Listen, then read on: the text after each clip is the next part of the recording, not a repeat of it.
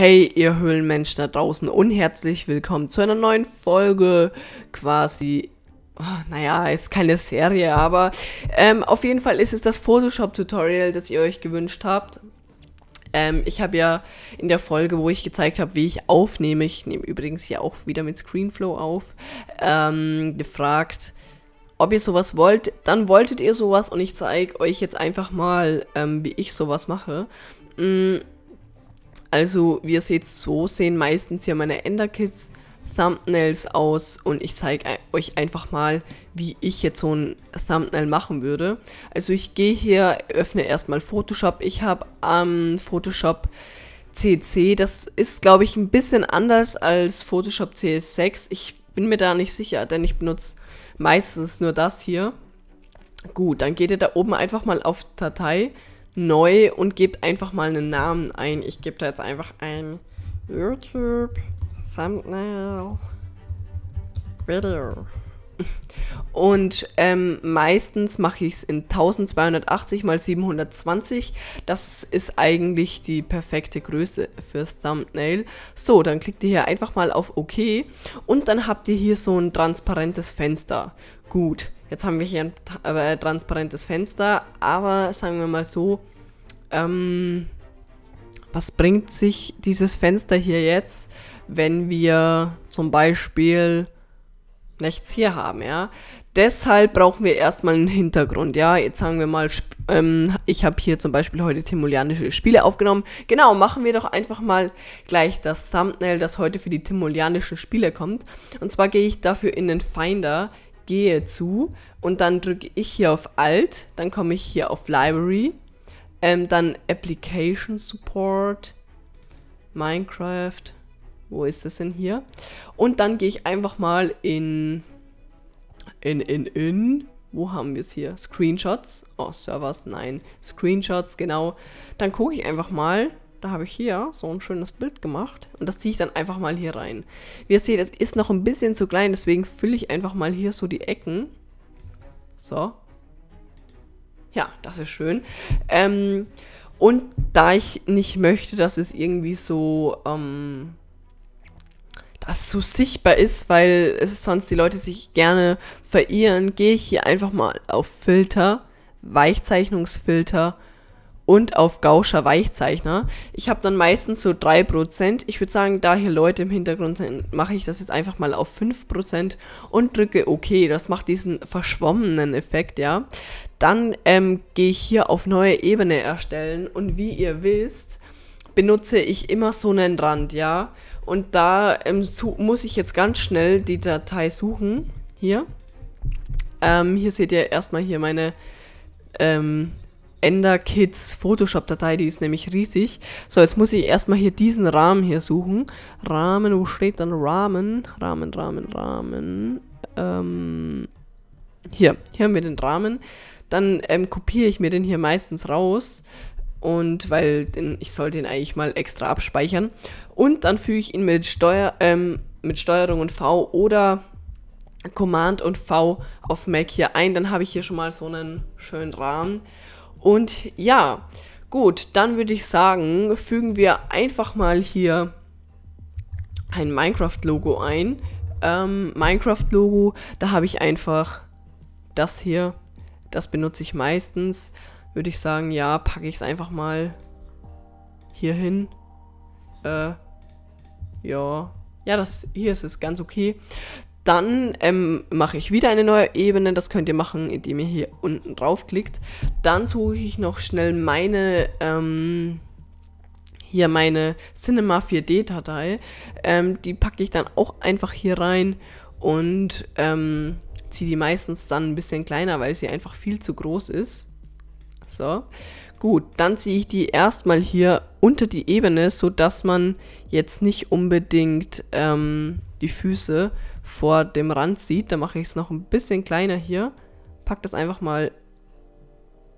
Äh, wo soll ich es denn hinpacken? Ich würde sagen, ähm, ich pack's einfach mal so. Ja, so ist okay. Ähm, dann ähm, mache ich hier einfach mal einen Doppelklick drauf. Gehe auf Kontur ähm, nehme mir hier einfach mal die weiße Farbe und gehe hier dann auf 5. Das macht dann meistens so noch so einen kleinen Effekt, sage ich mal.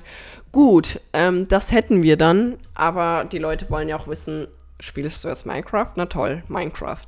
Ähm, ich bin Minecraft-Kanal und ähm, man sollte halt auch wissen, welchen Spielmodus ich gespielt habe. Deswegen gehe ich hier einfach mal auf eine neue Ebene, wähle das Textwerkzeug und gebe hier einfach mal ein. Ich soll es vielleicht ein bisschen größer machen. Ungefähr so. Ähm, Timolianische Spiele. So, das hier ist natürlich jetzt ein bisschen zu groß, aber wir machen das einfach so. Zack. Ähm, das sieht dann gleich schon ein bisschen besser aus. Ja, ich soll es vielleicht doch noch ein bisschen kleiner machen. Besten ich pack's hier so hin. Die Schriftart passt mir eigentlich schon ganz gut. Das ist die Tunisch Schriftart, wenn ihr wissen wollt, wie die heißt. Hier Tunisch.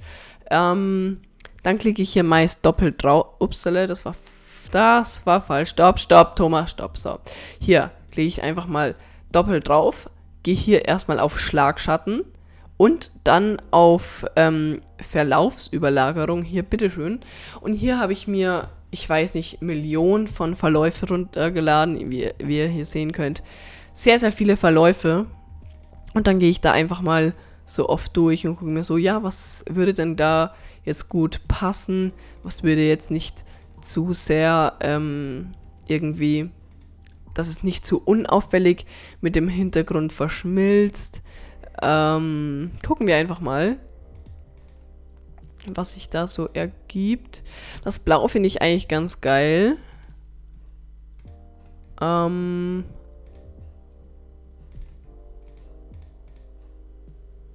Naja, das sieht auch geil aus, aber da der Skin im Hintergrund fast dieselbe Farbe hat. Ich würde einfach mal sagen, wir nehmen hier dieses Blau.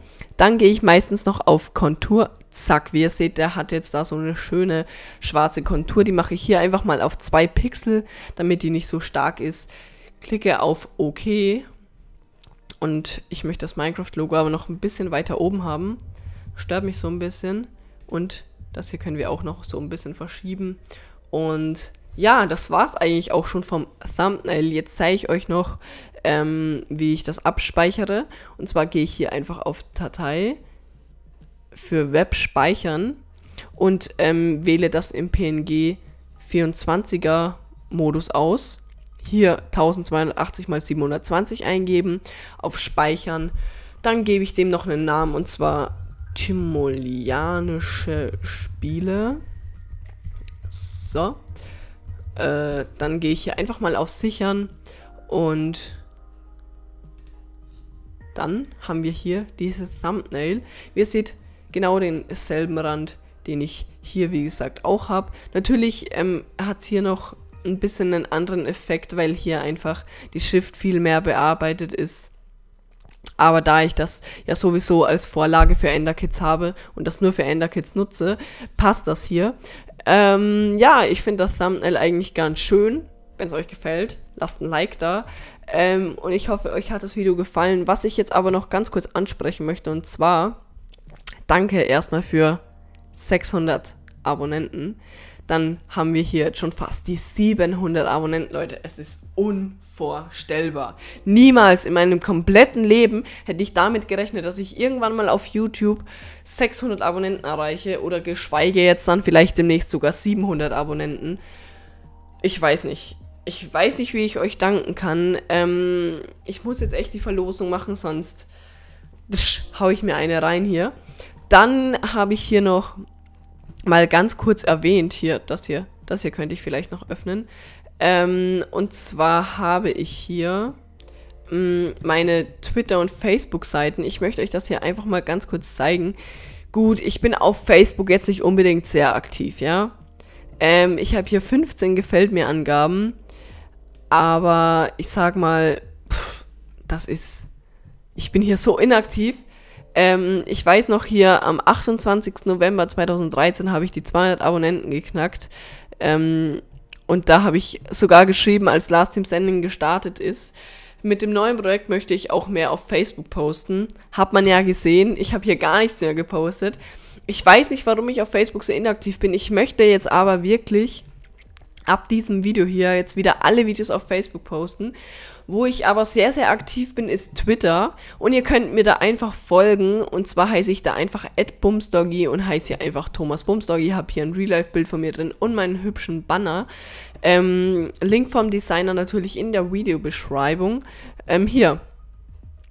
Gehen wir einfach gleich mal auf seine Seite, würde ich sagen. Hier, das hier ist der liebe Designer, der für mich ähm, auch diesen Banner gemacht hat. Ich kann einfach nur ähm, sagen, es sieht einfach nur Hammer aus.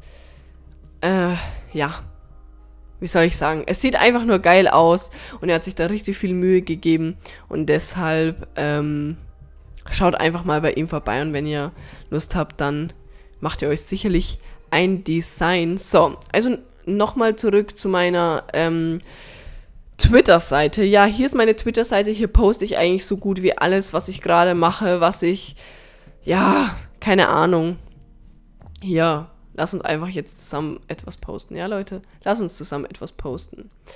Ähm, poste das gerade unter dem. Nee, nee, nee.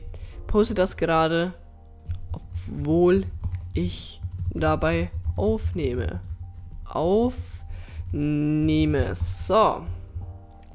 Und dann schicke ich das jetzt einfach mal ab hier.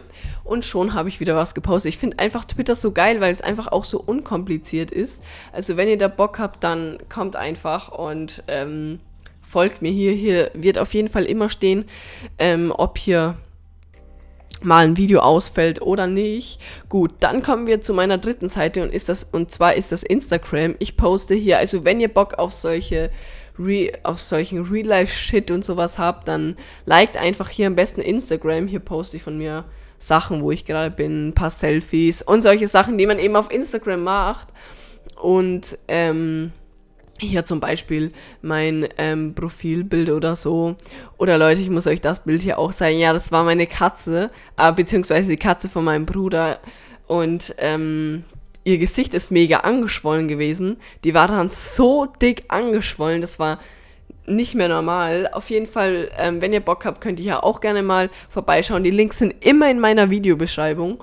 Und ich würde einfach mal sagen, Leute, ähm, ich bin hier gerade noch im Rotpilz TS. So, kurz muten. Äh, hier habe ich auch noch WoW offen. Was hier los? Nein, das wollte ich gar nicht. Äh, hier. Wo ist Photoshop? Hier ist Photoshop. Gut, Leute, ich würde einfach mal sagen, wenn euch das Video gefallen hat und ihr das Thumbnail cool findet, dann schreibt es mir einfach mal in die Kommentare. Und ja, ich würde einfach mal sagen, das war's. Haut rein und ciao.